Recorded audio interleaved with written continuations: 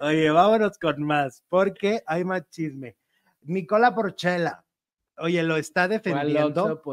Oye, por cierto, yo ya vi, ya ves que habíamos comentado la foto que circula donde se está besando con Wendy, Guevara.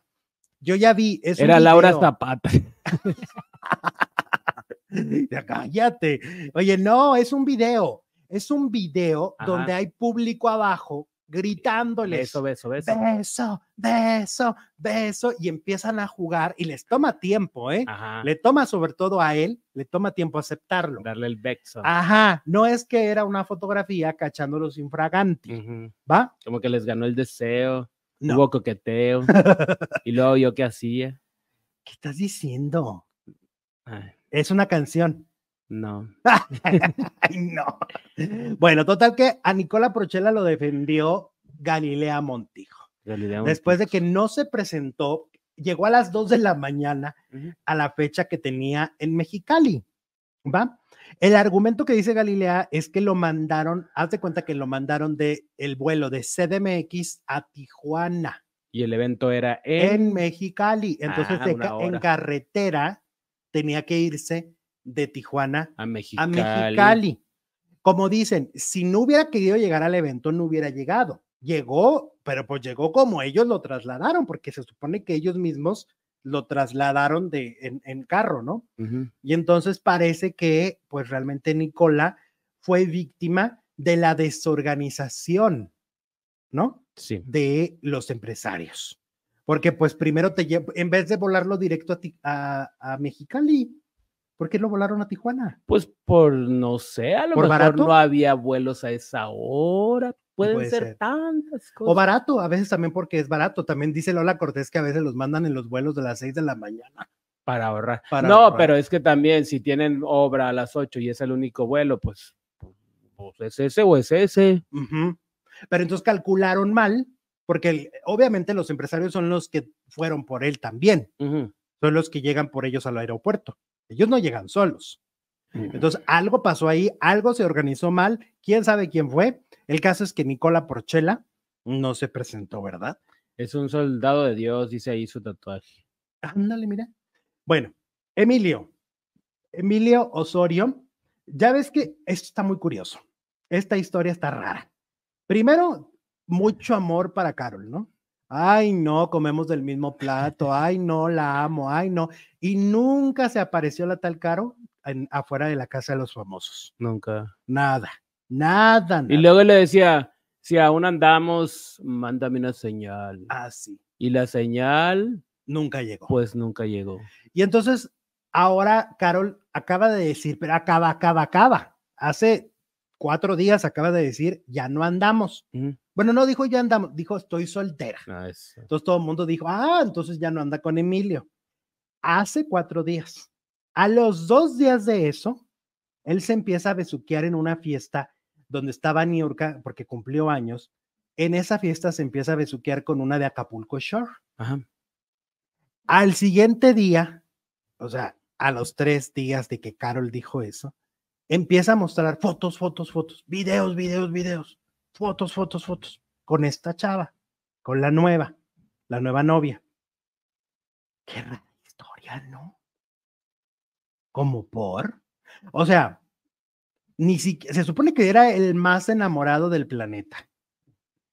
Y a los dos días de que tu ex está diciendo que es soltera, que acaban de terminar, tú ya te muestras como si llevaras mucho tiempo con esta chica, porque parece que anduvieran, no sé, no sé, a mí, mira, dime mal pensado, dime, dime mal pensado. Mal pensado. Soy mal pensado. Pero, a ver, ¿cuál es siento que es una campaña. Campaña Parece de... campaña de promoción de tengo novia. Así lo veo yo. Así está diseñado, como si fuera una campaña de, de subimos historias bonitas, subimos esto, como lo mismo pensé durante todo su noviazgo con Carol. Era una campaña y ahora lo siento igual. Perdón, a ver, díganme mal pensado en el chat. Mal pensado, díganme mal pensado. Despechado, dicen por aquí Leslie. Ah, que quiere como. Campaña. Campaña. Campaña. campaña. Ahora, vámonos con Wendy. Wendy. La Beba Galván. Oye, Wendy, resulta que este, la gemela de Laura Zapata. Wendy Zapata. Bueno, Wendy Guevara, eh, pues cuando recién salió de la Casa de los Famosos México, la euforia era brutal. O sea, ella empezaba a hacer un en vivo en Instagram o en YouTube. Y todos corríamos a ver qué Eh, estaba no, era diciendo. una cosa, creo que en Instagram lograba como más de 100 mil personas. En YouTube, más No me de digas que ya no. 30,000. Ya, Ya no. En YouTube tenía más de 30 mil. Ujú. Ayer me metí a uno de sus en vivos y tiene ya 6 mil, 5 mil. Le han ido O bajando. sea, ya más normal como cuando había, cuando los tenía antes de entrar a la casa. Ujú. ¿Cómo de alguna manera esta fama tan mediática se empieza un poco a desinflar? ¿No? Sí. Ahora el asunto va a ser, ¿se va a quedar ella en el medio o no se va a quedar? Esa es la pregunta, porque ¿cuántos personajes de moda hemos tenido? El problema es que ella no quiere hacer shows y ella nació haciendo shows y en las redes, por supuesto, de las Sí, redes sí, brincó a sí. los shows, pero si ya no quiere hacer shows y comerciales y todo eso, pues no sé si a lo mejor quiere aprovechar el momento para hacer comerciales y después volver a los shows o de plano ya no quiere hacer shows. Pues quién Jamás. sabe. Ahí las que salen perdiendo son las otras perdidas, porque las otras perdidas sí viven de los shows Sí, sí, claro, claro. y son un trío. Sí, tienes razón. Ahí ese es el problema. Y ellas no ganan una exclusividad con Televisa. Bueno, se dice que la más pechocha ya, ¿verdad? Wendy la más Que ya, pechocha. Kimberly.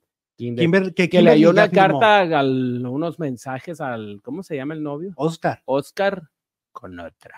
Sí, que con una doctora.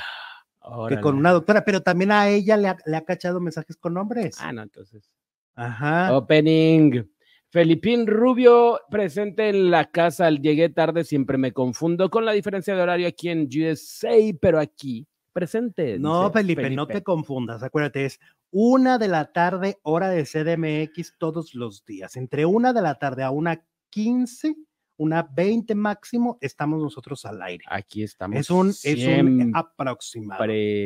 Ya chole con la Wendy, dice María Judith. No, pues mientras siga. la- mientras siga dando información, seguiremos hablando de ella. Aparte es bien, o sea, sí le habrán bajado los bonos en, los, en las redes y todo, pero tú la ves y la simpatía la sigue teniendo. Obvio, obvio, obvio. Nació con ella y se va a morir con ella. Claro.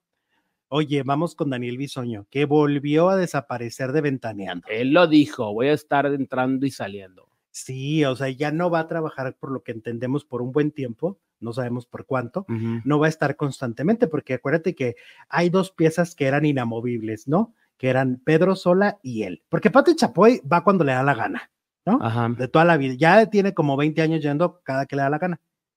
Y, las y los demás los turnan, ¿no? A los demás, a Rosario, a Mónica, a Linet y a Ricardo. Sí. Pero los seguritos siempre eran Pedrito y Daniel. Daniel. Daniel. Y Y entonces Pati. ahora, pues Daniel ya, ya no es seguro. Ya no. No, bueno, pues mientras tenga una condición, una enfermedad, pues le da prioridad a su salud y se va a ausentar cuando se tenga que ausentar. Oye, es que sí es fuerte lo que le ha pasado, ¿verdad? Es Pues muy no es un delicado. chiste, no es un Es chiste. muy delicado, aunque Pati Chapoy y compañía como que lo han querido siempre estar como, como escondiendo, pero al mismo tiempo él lo confirma, él lo dice y además físicamente es muy notorio.